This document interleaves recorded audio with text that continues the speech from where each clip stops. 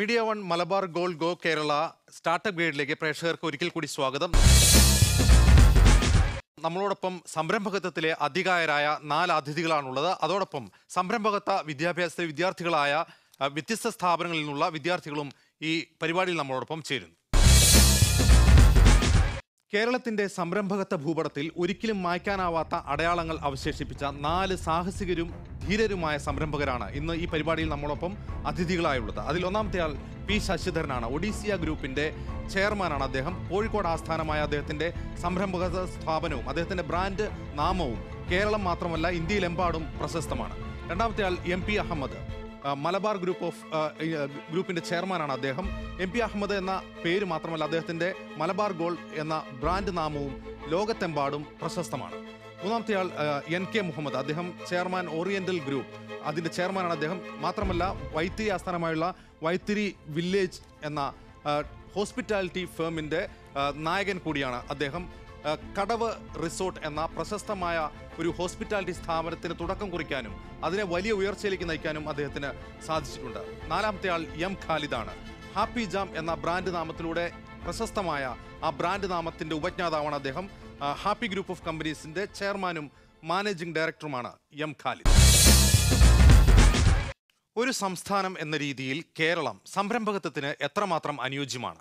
കേരളത്തിന്റെ കാലാവസ്ഥ ഇൻഫ്രാസ്ട്രക്ചർ കേരളത്തിലെ രാഷ്ട്രീയം കേരളത്തിന്റെ തൊഴിൽ സംസ്കാരം ഇതെല്ലാം സംരംഭകത്വത്തിന് എത്രമാത്രം അനുഗുണമാണ്? ഏതെല്ലാം പോരായ്മകളാണ് കേരളം പരിഹരിക്കേണ്ടത്? കേരള സമൂഹം ഒറ്റക്കെട്ടായി നിന്ന് അഭിസംബോധന ചെയ്യേണ്ട സംരംഭകത്വ പ്രശ്നങ്ങൾ എന്തൊക്കെയാണ്? ഇതാണ് ഈ എപ്പിസോഡിൽ നമ്മൾ ഈ കുറി ചർച്ച ചെയ്യുന്നത്. നമ്മൾക്ക് ആദ്യം അതിഥികളിലേക്ക് തന്നെ പോകാം. എം പി അഹമ്മദ് കേരളത്തെക്കുറിച്ച് വ്യാപകമായ ചില പ്രചാരണങ്ങളുണ്ട്. ഒരു ഉദാഹരണം പറഞ്ഞാൽ രണ്ടായിരത്തി ഒന്നിലെ ഗ്ലോബൽ ഇൻവെസ്റ്റേഴ്സ് മീറ്റിൽ അത് ഉദ്ഘാടനം ചെയ്തുകൊണ്ട് അന്നത്തെ പ്രധാനമന്ത്രി അടൽ ബിഹാരി വാജ്പേയി ഉപയോഗിച്ചൊരു വാക്കുണ്ട്. വരവേൽപ്പ് സിൻഡ്രോം. യഥാർത്ഥത്തിൽ ഒരു സംരംഭകനെ സംബന്ധിച്ച ഒരു ബാലപാഠമാണ് ആ സിനിമ. കേരളത്തിൽ കാര്യമായ മാറ്റങ്ങളുണ്ട്. കേരളത്തിന് ഒരുപാട് ഭാവി ഭാവിയുമുണ്ട്.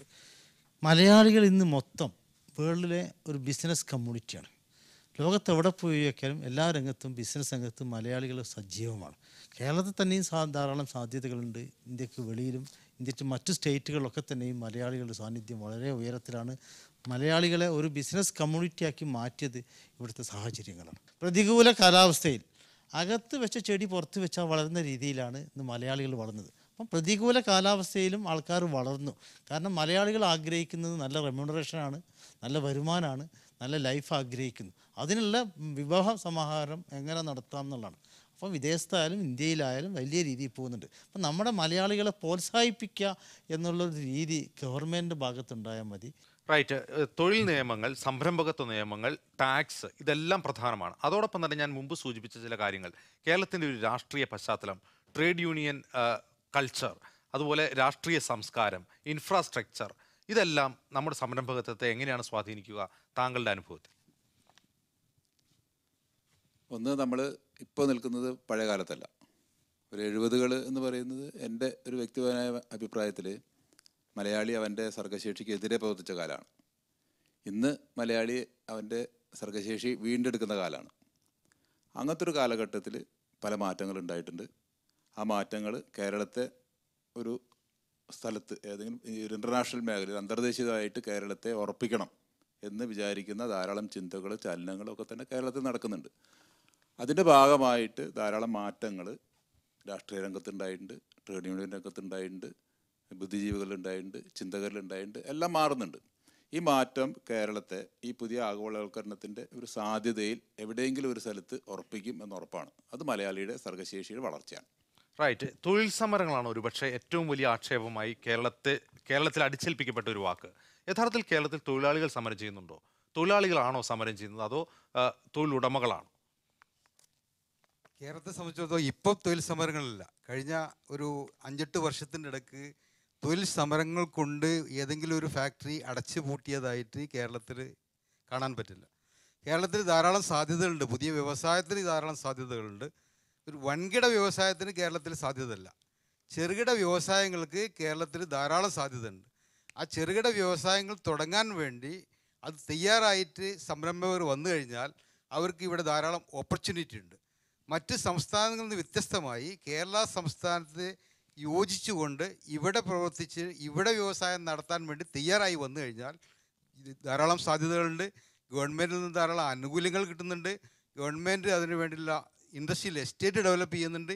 ഇനിയും കൂടുതൽ കൂടുതൽ വ്യവസായ സംരംഭങ്ങൾ ഇവിടെ വരണമെങ്കിൽ ഗവൺമെന്റ് ധാരാളം ഇൻഡസ്ട്രിയൽ എസ്റ്റേറ്റുകൾ ഡെവലപ്പ് ചെയ്ത് ഇൻഫ്രാസ്ട്രക്ചർ ഡെവലപ്പ് ചെയ്ത് കൊടുക്കുകയാണെങ്കിൽ വ്യവസായങ്ങൾ ധാരാളം വരാൻ സാധ്യതയുണ്ട്.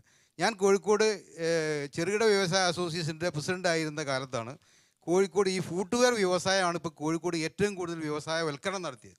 അതിനൊരു പ്രധാന കാരണം കേരള സംസ്ഥാന ചെറുകിട വ്യവസായ അസോസിയേഷന്റെ കോഴിക്കോട് ജില്ലാ കമ്മിറ്റി രണ്ടായിരത്തി ആറിൽ കോഴിക്കോട് താജിൽ വെച്ചുകൊണ്ട് ഒരു എക്സിബിഷൻ നടത്തി.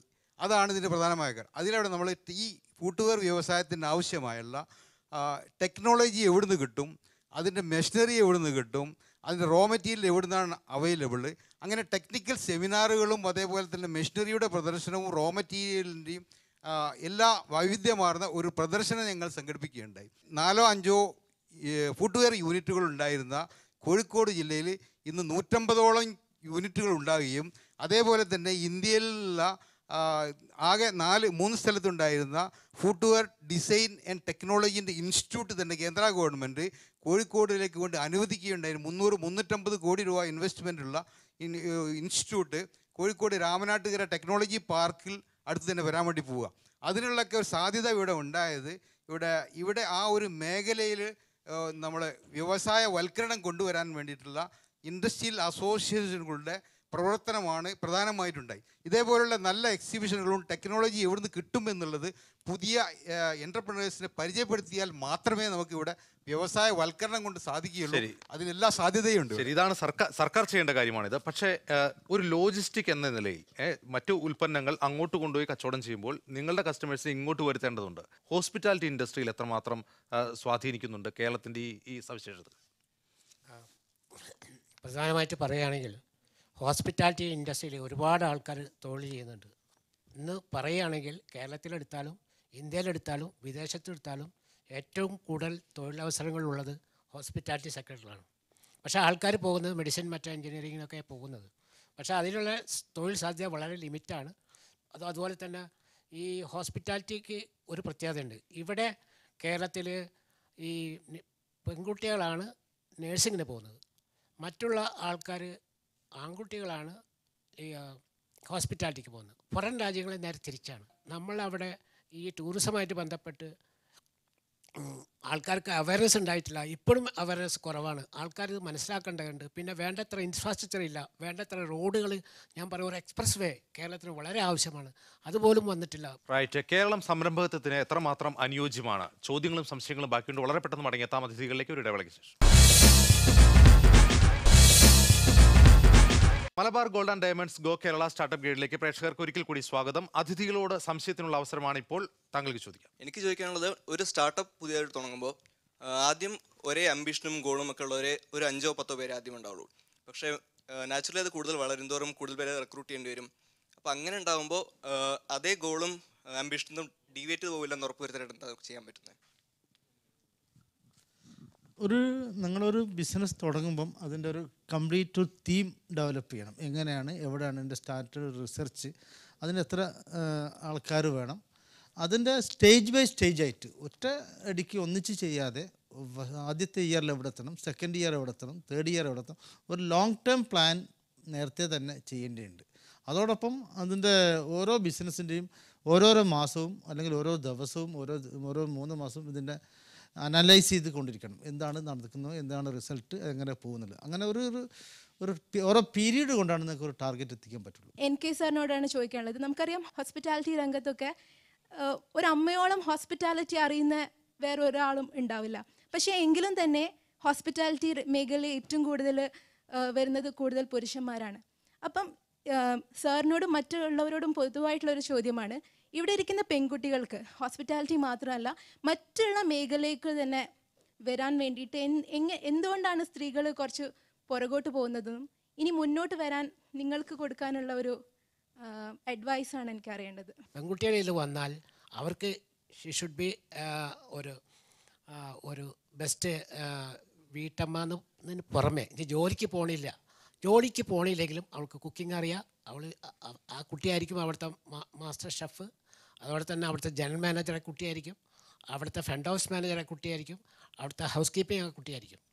അപ്പോൾ അങ്ങനെ നമുക്ക് ജോലി ഇല്ലെങ്കിലും പിടിച്ചു നിൽക്കാൻ പറ്റിയ ഒരു ഇൻഡസ്ട്രിയാണ് ഹോസ്പിറ്റാലിറ്റി ഇൻഡസ്ട്രി ഒരിക്കലും പട്ടിണി കിടക്കില്ല നമുക്ക് എവിടെ പോയാലും ജോലി ഷുവറാണ് നിങ്ങൾക്ക് ഏത് ഇൻഡസ്ട്രി പോയി ഹോസ്പിറ്റാലിറ്റി കഴിഞ്ഞാൽ മിനിമം ട്വന്റി തൗസൻഡ് റുപ്പീസിൽ സാലറി ഞങ്ങൾക്ക് കിട്ടും. പെൺകുട്ടികൾ എന്തുകൊണ്ട് ഉന്നതിയിലേക്ക് വരുന്നില്ല അല്ല തലപ്പത്തേക്ക് വ്യവസായ സ്ഥാപനത്തിന്റെ മറ്റ് സ്ഥാപനത്തിന്റെ തലപ്പത്തേക്ക് വരുന്നില്ല എന്നുള്ളത് അവർ ചോദ്യം ചോദിച്ചത് അതിന് അവർക്ക് നമുക്ക് എന്താണ് അഡ്വൈസ് കൊടുക്കാൻ? അവർ തന്നെ സ്വയം തീരുമാനിക്കേണ്ടത് ഞങ്ങൾ ഏത് ലെവലിലേക്ക് എത്തണം എന്നുള്ളത്. നമുക്ക് സ്വയം ഒരു ഒരു ആത്മവിശ്വാസം ഉണ്ടാവണം. ഞാൻ എവിടെ ഞാൻ എവിടെ എത്തണം എന്നുള്ളത് ഞാൻ എവിടെ എത്തണം എന്നുള്ളത് ഞാൻ തന്നെ തീരുമാനിക്കേണ്ടത്. എനിക്കൊരു ആത്മവിശ്വാസം ഉണ്ടായെങ്കിൽ ആ നിലയിലേക്ക് ഞാൻ എങ്ങനെ എത്തിപ്പെടും? അതിന് വേണ്ടിയിട്ട് ആദ്യം അവർ തയ്യാറാവുക. അതിന് ഉദാഹരണം തന്നെ നമ്മൾ കേരളത്തിൽ തന്നെ പോലീസ് തലപ്പത്ത് രണ്ടുപേര് വനിതകളാണ്. കൂടാതെ മൾട്ടിനാഷണൽ കമ്പനിയുടെ പെപ്സിയുടെ മേധാവി വനിതയാണ്. അതേപോലെ തന്നെ പൊതുമേഖലാ സ്ഥാപനങ്ങളായ പല ബാങ്കുകളുടെയും ഐ സി ഐ സി ബാങ്കിന്റെയും എസ് ബി ഐന്റെയും ഒക്കെ തലപ്പത്തിരിക്കുന്നത് വനിതകളാണ് ഏറ്റവും പൊതുമേഖലാ കമ്പനികളുടെയും മൾട്ടിനാഷണൽ കമ്പനികളുടെ ഒക്കെ വനിതകളാണ് ഈ തലപ്പത്തിരിക്കുന്നത്. അപ്പോൾ വനിതകൾക്ക് ഓപ്പർച്യൂണിറ്റി ഉണ്ട്. അവർ തന്നെ തീരുമാനിക്കണം ഞാൻ എന്താവണം എന്നുള്ളത്. അങ്ങനെ ഒരു ആത്മവിശ്വാസവും ധൈര്യവും ഉണ്ടെങ്കിൽ ഏത് മേഖലയിലും എവിടെയും ചെന്നെത്താൻ യാതൊരു പ്രയാസവും ഇല്ല എന്നുള്ളത്. ഈ പറഞ്ഞ ധാരാളം വനിതകൾ ധാരാളം മേഖലകൾ ഉയർന്ന നിലയിലുണ്ട്. പക്ഷെ മലയാളി പെൺകുട്ടികൾക്ക് ഞങ്ങൾക്ക് ഇന്നതാണ് ഇടം എന്ന് നിങ്ങൾ തീരുമാനിച്ചിരിക്കുകയാണ്. ഞങ്ങൾക്ക് എല്ലാ ഇടങ്ങളും പറ്റുന്നതും എല്ലാ മേഖലയിലേക്കും കടന്നു കയറാൻ പറ്റുന്നതും നിങ്ങൾ തിരിച്ചറിഞ്ഞു കഴിഞ്ഞാൽ പ്രശ്നം അവസാനിച്ചു. അങ്ങനെ ഒരു തിരിച്ചറിവ് ഉണ്ടായി കഴിഞ്ഞാൽ മലയാളി പെൺകുട്ടികളും ഉയർന്ന മേഖലകളിൽ ഉയർന്ന തസ്തികളിൽ. ഒക്കെ എത്തും. അടുത്ത പ്രാവശ്യത്തെ ഇന്റർവ്യൂവിൽ ഇവിടെ രണ്ടാൾ ഞങ്ങളായിരിക്കും നാലാളിൽ ചോദിക്കാനുള്ളത് എക്സ്പീരിയൻസിന്റെ കാര്യമാണ്.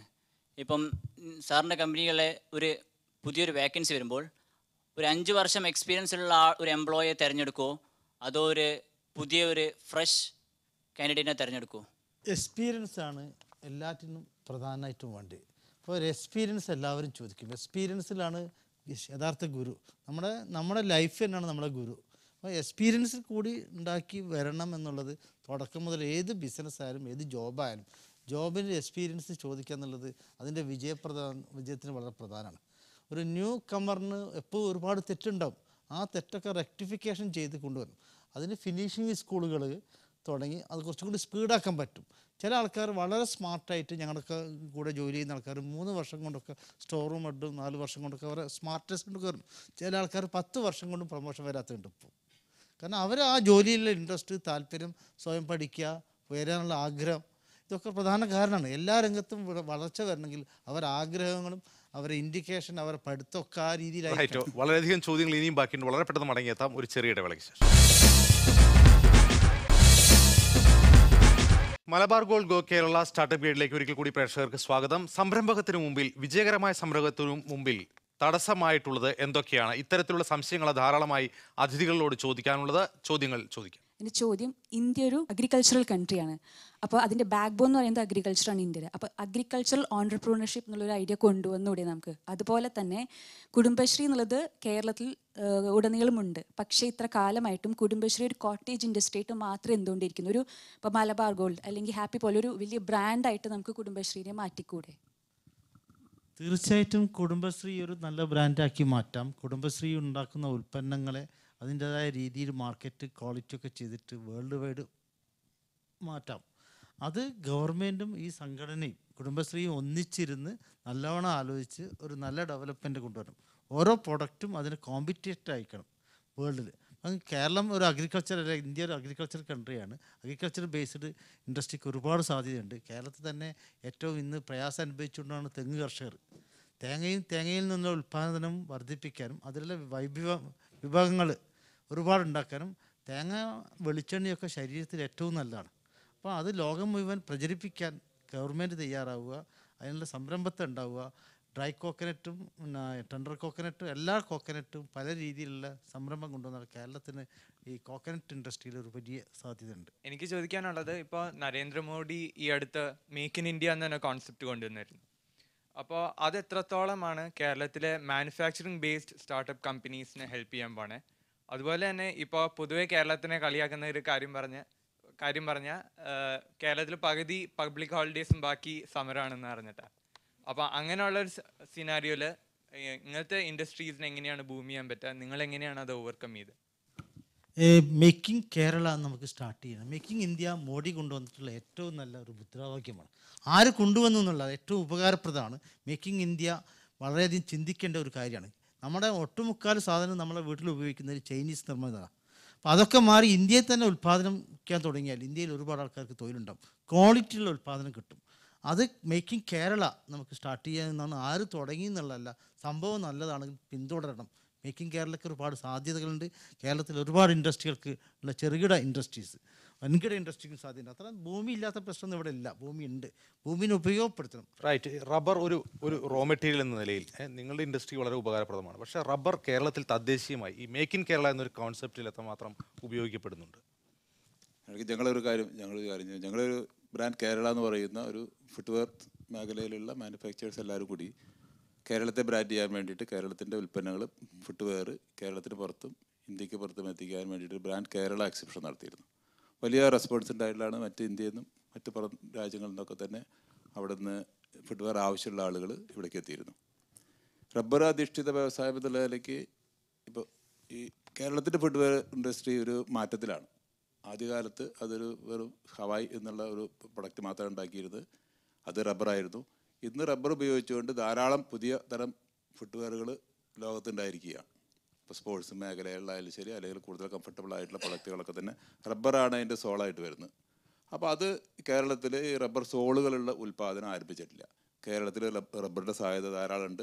ആ റബ്ബറിന്റെ സാധ്യതയ്ക്കനുസരിച്ച് ഇത്തരം സോളുകൾ അതായത് ഉയർന്ന നിലവാരത്തിലുള്ള കംഫർട്ടായിട്ടുള്ള സോളുകൾ കേരളത്തിൽ ഉൽപ്പാദിപ്പിക്കാൻ ആരംഭിച്ചു കഴിഞ്ഞാൽ ആ നിലയിലുള്ള ഫുട്വെയറുകൾ കേരളത്തിൽ ആരംഭിക്കാൻ പറ്റും. അതായത് നമുക്ക് വേണമെങ്കിൽ അഡിദാസിനോടും നൈക്കിനോടൊക്കെ കോമ്പറ്റ് ചെയ്യാൻ പറ്റുന്ന ഫുട്വെയറുകൾ കേരളത്തിൽ ഉണ്ടാക്കാനുള്ള എല്ലാ സാധ്യതയും കേരളത്തിലുണ്ട്. എന്റെ ചോദ്യം നമ്മളൊരു പുതിയ സംരംഭം തുടങ്ങുമ്പോൾ ആ പ്രദേശത്തെ ജനങ്ങളെ വിശ്വാസത്തിലെടുക്കുക എന്നത് നമ്മളെ ബിസിനസ്സിന്റെ എത്തിക്സിന്റെ ഭാഗമാണ്. അപ്പം ആ പ്രദേശത്തെ ജനങ്ങൾ ചിലപ്പോൾ അതിനെതിരെ തിരികെയും പ്രതിഷേധങ്ങളും സമരങ്ങളും ഉണ്ടായേക്കാം. നിങ്ങളുടെ ജീവിതത്തിൽ അങ്ങനെ എന്തെങ്കിലും അനുഭവം ഉണ്ടായിട്ടുണ്ടോ? അതിനെ എങ്ങനെയാണ് നിങ്ങളെല്ലാം നേരിട്ടിരിക്കുന്നത്? വൈത്തിരി വില്ലേജിൽ ഒരു നൂറ്റമ്പത് സ്റ്റാഫ് അവിടെ ലോക്കലായിട്ട് വർക്ക് ചെയ്യുന്നവർ അവരെ ട്രെയിനിങ് ചെയ്യിച്ച് ഈ ഹൗസ് കീപ്പിംഗ് ആയാലും മറ്റേതായാലും അവരെ ട്രെയിനിങ് ചെയ്യിച്ച് ഞങ്ങളെ കൊണ്ടു നടക്കുക. ഈ ഞാൻ ഈ ചോദ്യത്തിന് ഒരുപാട് മറുപടിയുണ്ട്. കാരണം ഞങ്ങളൊരു കാക്കഞ്ചേരി കിൻഫ പാർക്കിൽ ഇൻഡസ്ട്രിയൽ പാർക്കിൽ ഒരു വലിയൊരു ഇൻഡസ്ട്രി ഏതാണ്ട് രണ്ടേകാൽ ലക്ഷം സ്ക്വയർ ഫീറ്റോളം വരുന്നൊരു ഇൻഡസ്ട്രി. ആയിരത്തി ഇരുന്നൂറ് പേർക്ക് സ്റ്റാർട്ടിങ് ആയിരം പേർക്ക് സ്റ്റാർട്ടിങ്ങിൽ ജോലി കൊടുക്കാൻ പറ്റുന്ന ഒരു ഇൻഡസ്ട്രി. ഏകദേശം മുപ്പത് കോടി റുപ്യോളം ചെലവ് ചെയ്ത് എന്റെ സ്റ്റാർട്ടിങ് ബിൽഡിംഗ് ആയിട്ടുണ്ട്. പ്രാദേശികമായിട്ടുള്ള പേരും പറഞ്ഞുകൊണ്ട് ഒരു വിഭാഗം ആൾക്കാർ അതിനെ എതിർക്കേണ്ടത്. അതും പൊല്യൂഷനാണ് പറയുന്നത് പൊല്യൂഷൻ ഇല്ലാതാക്കാനുള്ള എല്ലാ കാര്യങ്ങളും പറഞ്ഞിട്ട് പോലും പ്രാദേശികമായ പേര് പറഞ്ഞുകൊണ്ട് മറ്റൊരു മാഫിയ മറ്റൊരു മാഫിയ എന്ന് പറഞ്ഞാൽ ഞങ്ങളുടെ ഇൻഡസ്ട്രിയിലെ ഞങ്ങളുടെ കോമ്പറ്റേഴ്സ് എന്ന് പറയുന്നത് അൺഅക്കൗണ്ട് ബിസിനസ്സുകാരാണ്. അതായത് കള്ളക്കടത്ത് ബിസിനസ് നടത്തുന്ന ഒരു വിഭാഗം ആൾക്കാർ ഒരു സംഘടിപ്പിച്ചുകൊണ്ട് ഇതിനെതിരെ ഈ സമരം നടത്തി. കാരണം അവരെ ഈ ഇൻഡസ്ട്രി അവർക്ക് ഞങ്ങൾ കോമ്പറ്റർ ആവുമെന്ന് മനസ്സിലായിക്കൊണ്ട് കേരളത്തിൽ ആയിരത്തി ഇരുന്നൂറോളം ജ്വല്ലറി മാനുഫാക്ചേഴ്സ് ഉണ്ട്. ആയിരത്തി ഇരുന്നൂറോളം മാനുഫാക്ചേഴ്സ് ഇരുപത്തഞ്ചും അമ്പതും നൂറും ഇരുന്നൂറും അഞ്ഞൂറും നടക്കുന്ന അവർക്ക് ഇ എസ് ഐ ഒ പി എഫ് ഒ യാതൊരു ആനുകൂല്യമോ കൊടുക്കാതെ റെക്കാർഡക്കലി പ്രൊഫഷണലി അല്ല നടത്തുന്നത്. ഞങ്ങൾ ഹൺഡ്രഡ് പെർസെന്റ് പ്രൊഫഷണലി കംപ്ലീറ്റ് എല്ലാ വെള്ളം ശുചീകരിച്ചുകൊണ്ട് വെള്ളം അവിടെ തന്നെ ഓർഗാനിക് ഫാമിനും എല്ലാ കാര്യങ്ങളും ഒരു സാധനം. ഞങ്ങളുടെ ഇതിന്റെ മെയിൻ ഇൻഡസ്ട്രീന്റെ ലാഭം എന്ന് തന്നെ പറയുന്നത് സ്വർണ. സ്വർണം പൊടിഞ്ഞും പാറിയൊക്കെ പോകും ഇതിന്റെ വേസ്റ്റേജ് ആണ് സ്വർണത്തിലെ ഏറ്റവും വലിയ ചെലവ് വരുന്നത്. ആ വേസ്റ്റേജിനെ മാക്സിമം തിരിച്ചെടുക്കുന്ന രീതിയിലുള്ള ടെക്നോളജികളും ആ രീതിയിലുള്ള കാര്യങ്ങളൊക്കെ ചെയ്തുകൊണ്ടുള്ള നല്ലൊരു ഇൻഡസ്ട്രിയാണ് ഞങ്ങൾ തുടങ്ങാൻ പോയത്. ഹൺഡ്രഡ് പെർസെന്റ് അക്കൗണ്ടിങ് സിസ്റ്റത്തിലൊക്കെ ചെയ്യുന്നത്. അതിന്റെ പിറകിൽ ഞങ്ങൾ എതിർത്തത് സത്യസന്ധമായിട്ട് പറഞ്ഞാൽ ഞങ്ങൾ മനസ്സിലാക്കിയത് ഒരു മാഫിയാണ്. അതായത് കേരളത്തിൽ ഏറ്റവും ഇന്ന് വളർന്നു വന്നിട്ടുള്ള കള്ളക്കടത്ത് മാഫിയകൾ പണം കൊടുത്തുകൊണ്ട് അവിടുത്തെ ജനങ്ങൾ ഒരുപാട് ആൾക്കാരെ വിലക്കെടുത്തുകൊണ്ട് പബ്ലിക്കിന് ഞങ്ങൾ ജോലി കൊടുക്കാൻ തയ്യാറാണ്. ഞങ്ങളുടെ പ്രോഫിറ്റിന്റെ ഫൈവ് പെർസെന്റ് പബ്ലിക്കിന്റെ ഹെൽത്തിനും അവിടുത്തെ അവരുടെ ജീവിതത്തിനും വേണ്ടി ചിലവഴിക്കുന്നതാണ്. ഞങ്ങളുടെ C S R five percent ആണ്. ഞങ്ങളുടെ അതാത് പ്രദേശം അവിടെ നിന്ന് ഉണ്ടാക്കുന്നത് എന്ത് പ്രോഫിറ്റാണെന്നോ ഫൈവ് പെർസെന്റ് അവിടുത്തെ സി എസ് ആറിന് വേണ്ടി മാറ്റിവെക്കാം ഇത് എല്ലാ ഓഫർ കൊടുത്താലും ഒരു ചർച്ചയ്ക്ക് പോലും തയ്യാറല്ല. തുടങ്ങണ്ട നിങ്ങൾ പോയിക്കോളുക. അപ്പോൾ അതിന്റെ പിന്നിൽ വർക്ക് ചെയ്യുന്നത് ആരെന്ന് ഞങ്ങൾ മനസ്സിലാക്കിയത് കംപ്ലീറ്റ് ഈ അൺഅക്കൗണ്ടഡ് കള്ളക്കടത്ത് മാഫിയകളാണ്. അപ്പോൾ അതിനെ തിരിച്ചറിയാനോ അതിനുള്ള സൊല്യൂഷൻസ് കണ്ടെത്താനോ ഗവൺമെന്റുകൾ തയ്യാറായില്ല എന്നുള്ളതാണ്. എന്റെ ചോദ്യം എന്ന് വെച്ചാൽ ഈ കാലത്ത് നമ്മളിപ്പോൾ ഒരു സ്റ്റാർട്ടപ്പ് തുടങ്ങുകയാണെങ്കിൽ ഇപ്പോൾ അതിനെ കോമ്പീറ്റ് ചെയ്യാൻ ധാരാളം കോമ്പറ്റീറ്റേഴ്സ് കാണും. ഇപ്പം നമ്മൾ ഇറക്കുന്ന ഒരു പ്രൊഡക്റ്റ് അതിന് ധാരാളം കോമ്പറ്റീറ്റേഴ്സ് കാണും. അപ്പം നമ്മൾ ഇറക്കുന്ന പ്രൊ പ്രൊഡക്റ്റ് വിജയകരമാവുകയാണെങ്കിൽ നല്ലതായിട്ട് അത് സെല്ലാകുന്നുണ്ടെങ്കിൽ ഈ കോമ്പറ്റീറ്റേഴ്സ് നമ്മളെ ഭീഷണിപ്പെടുത്താൻ ചാൻസ് ഉണ്ട്. അപ്പം നമ്മുടെ കമ്പനി ഒരു ചെറിയ വിലയ്ക്ക് മേടിച്ചെടുക്കുമോ അല്ലെങ്കിൽ നമ്മളെ അങ്ങനെ ഭീഷണിപ്പെടുത്താൻ ചാൻസ് ഉണ്ട്. അപ്പം ഇത്തരം സന്ദർഭങ്ങൾ നിങ്ങളുടെ കമ്പനികൾ നേരിട്ടിട്ടുണ്ടോ? അതിനെ നിങ്ങൾ എങ്ങനെയാണ് പ്രതിനിധീകരിച്ചു ടേക്ക് കോമ്പറ്റീഷൻ ഏറ്റവും നല്ലതാണ്. മത്സരം ഒരു നമ്മളെ സ്പോർട്സ് മാതിരി കാണാം ഒരു സ്പോർട്സിൽ നിങ്ങളുടെ നല്ല സ്പോർട്സ്മാൻ ആണ് നിങ്ങളുടെ കോമ്പറ്റീറ്റർ നല്ലോണം ആളായിക്കണം. അപ്പം നിങ്ങൾ അതിനനുസരിച്ച് വമപ്പ് ചെയ്യും കാര്യങ്ങൾ സ്റ്റഡി ചെയ്യും ട്രെയിൻ ചെയ്യും. അപ്പം കോമ്പറ്റീറ്ററോട് മത്സരിക്കാൻ മനസ്സ് സന്നിദ്ധമാവുക. മത്സരം ഉണ്ടാവുന്നത് നല്ലതിനാണ്. കോമ്പറ്റീറ്റർ ഹെൽത്തി കോമ്പറ്റീഷൻ ആക്കി മാറ്റാൻ നിങ്ങൾ ട്രൈ ചെയ്യുക. ഹെൽത്തി കോമ്പറ്റീഷൻ കോമ്പറ്റീഷനുള്ള ബിസിനസ് വളരുള്ളൂ.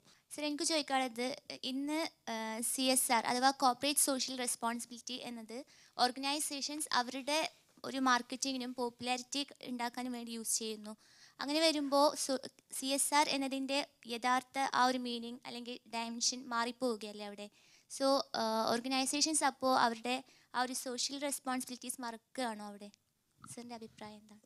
കോർപ്പറേറ്റ് റെസ്പോൺസ് റെസ്പോൺസിബിലിറ്റിയുടെ സോഷ്യൽ റെസ്പോൺസിബിലിറ്റി ഭാഗമായിട്ട് ഒരു ഒരു നമ്പർ ഓഫ് എമൗണ്ട് ഞങ്ങളെ സംബന്ധിച്ചിടത്തോളം പ്രോഫിറ്റിന്റെ ഫൈവ് പെർസെന്റ് ആണ്. ഗവൺമെന്റ് പ്രൈവറ്റ് കമ്പനികൾക്കെല്ലാം ടു പെർസെന്റ് ആണ് റെക്കമെൻഡ് ചെയ്തിരുന്നത്. ഞങ്ങൾ ഫൈവ് പെർസെന്റ് വെച്ചിട്ടുണ്ട് അങ്ങനെ ഒരു തീരുമാനം എടുത്തു കഴിഞ്ഞാൽ അത് ഏറ്റവും നല്ലതാണ്. എല്ലാ എല്ലാവരും ആ തീരുമാനം എടുക്കണം.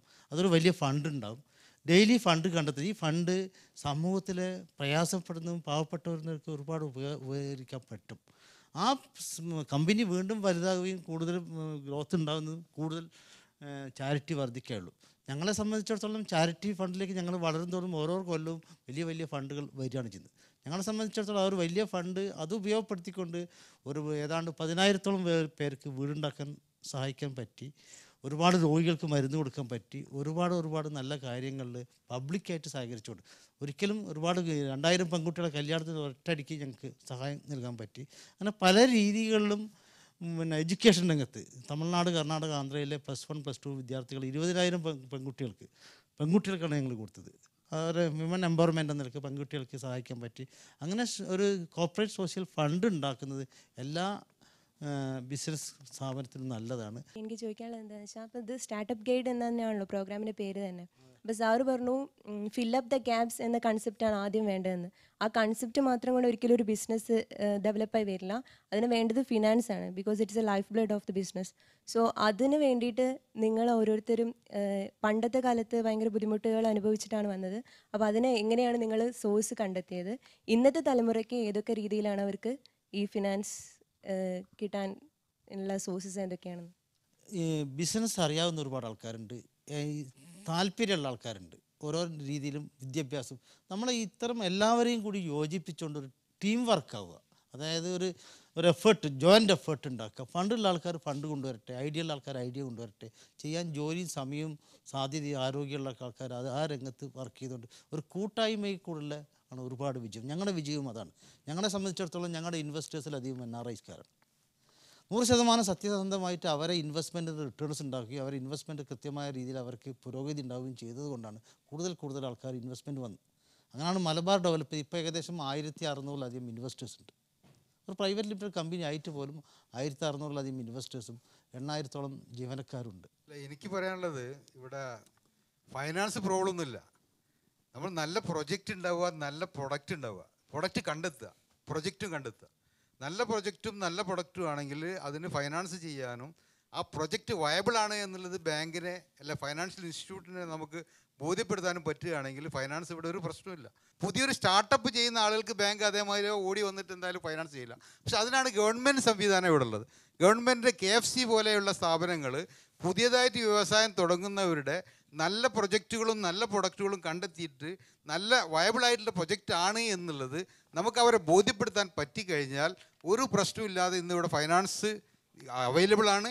എല്ലാവരും വ്യവസായം തുടങ്ങണം എന്നുള്ള അഭിപ്രായക്കാരാണ് ഞാൻ. അതുകൊണ്ട് നിങ്ങളെല്ലാവരും വ്യവസായത്തിലേക്ക് വരണം എന്നുള്ളതാണ് എന്റെ അഭിപ്രായം. വ്യവസായ സംബന്ധമായ ചോദ്യങ്ങൾ നിങ്ങളെല്ലാവരും കുറച്ച് ചോദിച്ചിട്ടുള്ളൂ എന്തായാലും. നമ്മുടെ വിശിഷ്ടാതിഥികൾ പുതിയ സംരംഭങ്ങളുമായി രംഗത്തെത്തിയ കാൽ നൂറ്റാണ്ട് മുമ്പ് മുതലുള്ള കേരള സമൂഹത്തിന്റെ സംരംഭകത്വ ചരിത്രത്തിൽ നിന്ന് വളരെയധികം വ്യത്യാസമാണ് ഇന്നുള്ളത് എന്നാണ് ഈ ചർച്ചയിൽ നിന്ന് വ്യക്തമാകുന്നത്. അതുമാത്രമല്ല സംരംഭകത്വത്തെക്കുറിച്ച് പുതിയ പ്രതീക്ഷകളും പുതിയ ആശയങ്ങളും ഇതിൽ പങ്കെടുത്ത അതിഥികളിൽ നിന്നും പുതിയ വിദ്യാർത്ഥികളിൽ നിന്നും ഉരുത്തിരിഞ്ഞു വരുന്നതായും അതെല്ലാം ശുഭോദർക്കമായ ഭാവിയിലേക്ക് വിരൽ ചൂണ്ടുന്നതായും ഈ ചർച്ച വെളിവാക്കുന്നു. എല്ലാ പ്രേക്ഷകർക്കും ഒരിക്കൽ കൂടി നന്ദി രേഖപ്പെടുത്തുന്നു. ഈ ചടങ്ങിൽ പങ്കെടുത്ത എല്ലാ അതിഥികൾക്കും വിദ്യാർത്ഥികൾക്കും ഒരിക്കൽ കൂടി നന്ദി രേഖപ്പെടുത്തുന്നു. നമസ്കാരം.